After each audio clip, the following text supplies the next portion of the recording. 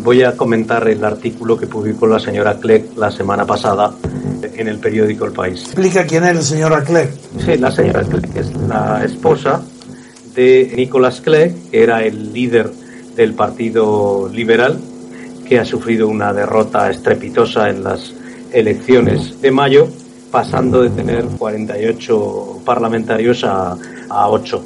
En el artículo la señora Clegg lo que hace es atacar al Partido Popular, atacar eso que llaman política de comunicación. ¿Pero qué, partido, el Partido Popular Español? Sí, sí, sí, el artículo está en clave española y obviamente por eso se publica en el país para atacar al PP. A mí eso me importa muchísimo menos.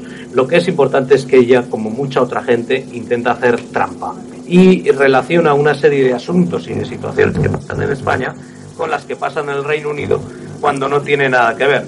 Por ejemplo, ella se muestra a favor igual que su marido hizo en un lamentable discurso esta semana cuando se abrió el Parlamento, insistiendo en que el sistema proporcional es maravilloso, obviamente porque le favorece a él, pues insistiendo en que no, que el parlamentarismo está muerto, que el sistema mayoritario está muerto. Bueno, pues precisamente hoy, y no lo pensaba usar en la intervención, pero hoy viene en la primera página, en el Guardian, uno de los pesos pesados de esos históricos del Partido Laborista dice que precisamente han perdido las elecciones porque los electores no querían ningún lío más.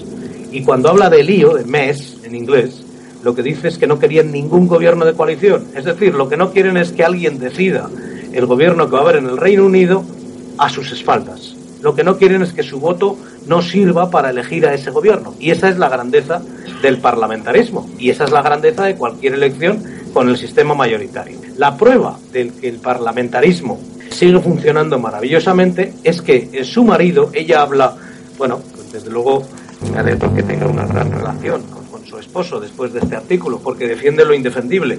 Ella dice que su marido ha recibido una paliza en estas elecciones, pero no dice por qué su marido entró en ese gobierno de coalición. Y su marido entró en ese gobierno de coalición porque Cameron fue el único que le prometió que habría un referéndum y esa era la condición sine qua non, para introducir el sistema proporcional en el Reino Unido. El único motivo, contrariamente a lo que ella afirma en ese artículo, por el cual su marido entró en el gobierno con el Partido Conservador, era porque existía la posibilidad de que se introdujera el sistema proporcional en el Reino Unido. Hubo ese referéndum que Cameron le dio, parece que Cameron tiene la costumbre de que cuando quiere destrozar a alguien le hace un referéndum y bueno, pues el referéndum se hizo al poco tiempo, a los dos años de entrar en el gobierno y lo perdió. Y es increíble que no hace ni una sola mención a eso.